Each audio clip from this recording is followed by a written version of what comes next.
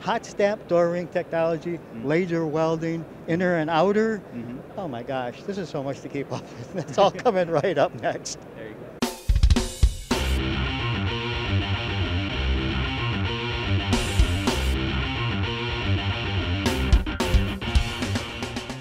Well, we're at the 2018 SAE World Congress, and I'm here with uh, Joe Rigsby, and he, this guy knows more about this than I do, but you know what? It's important.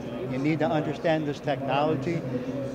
Joe, tell us all about it. Why do you do this? Oh, well, thank you. Yes, Jim, I, I'm the um, RDX um, body development leader. And so I oversaw the, the creation and the development of this new white body structure. Now, what we have applied here is an outer door ring system with an inner door ring system. Now, what that is, is this hot stamped material, 1600 megapascals, all stamped as one piece. Now, what it allows us to do is to balance energy, balance structure, to get the most performance out of the vehicle possible, while also cutting weight out of the vehicle.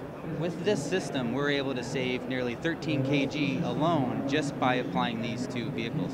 But that's somewhere in the mid 30s pounds of weight. So, you know, we're, we're taking a lot of weight out by applying this system. We're able to do that by tailor welding it. So if you look at these lines here, this is all laser weld seams that allow us to put the right thickness at the right location for the customer. So we're able to apply thicker parts where we need it up top, we're apply a more balanced thickness at the bottom. When we have a balanced inner and outer structure with these two rings, we're then able to focus on energy management systems inside the structure. Instead of having to add weight to resist crashes, we're able to then absorb energy in a more efficient way. Um, so that's what's really exciting for us is that, especially with the inner ring, no one in the world has done that before. So this is a world's first. Um, and to couple it with the outer ring, which we originally introduced on the uh, 2014 MDX, now we have a really efficient system to provide to our customers. Awesome. It's absolutely awesome. Well, thank you. Where can our viewers find out a little bit more about uh, this technology and, and, and the things that, that are coming up? Yeah. So um, as as in the months coming, we'll be rolling out more information on the RDX, and um, information from this SAE uh, event will start to be available, and they can start to see more about what we've got applied here um, on the RDX in the coming months.